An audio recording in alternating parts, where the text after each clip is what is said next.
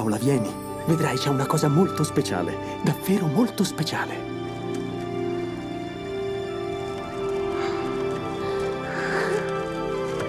È così carino.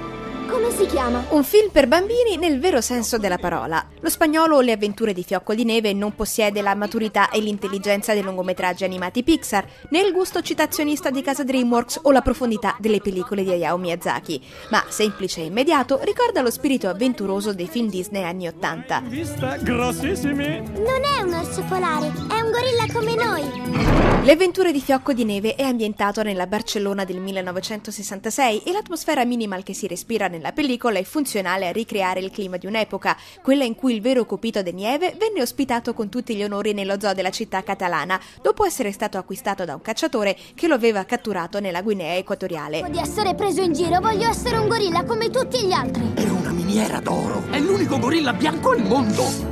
La trama segue l'andamento di una fiaba moderna. Tra gli ingredienti spiccano il protagonista peloso e la sua compagna umana, la figlia del direttore dello zoo, un nemico spinto da propositi sanguinari ma di fatto innocuo e pasticcione e una strega buona e bella. Ordinaria avventura! Andiamo!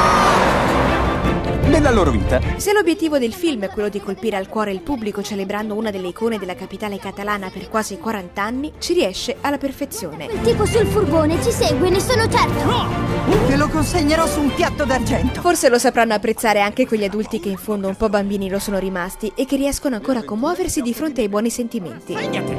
Sei una mosca bianca! gennaio 2013.